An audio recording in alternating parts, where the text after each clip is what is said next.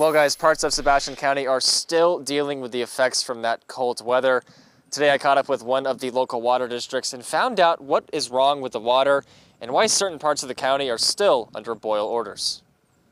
We had, you know, freeze ups at meters, and they've been bursting, and uh, uh, the loss of water through them. Uh, we're just having a hard time uh, keeping water in a certain area right now. Especially the water suppliers. We got one tank that's, you know, completely out of water. Boil orders continue to be in place for parts of Sebastian County. We have got some water going back in that area today, so uh, uh, we're still trying to uh, uh, solve that problem down there. Including the Sugarloaf area and parts of Hackett. You know, we've gone through spell uh, cold spells before, but uh, this one was seemed it was different. Something that the James Fork Water District has never seen before. We're out working right now trying to uh, get everybody back in water. We're trying different things that we had never had to do before. With help from the county, cities continue to wait on water. Uh, I've contacted the emergency management out of Fort Smith, and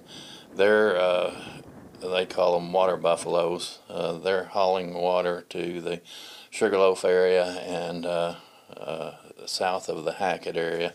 The district says that they hope to have things back to normal in the next couple of days throughout the county, but they wanted to add that they have been saying that for the last week, so they are unsure of the timetable to get everything back to normal. Reporting in Sebastian County, Jacob Murphy, 4029 News.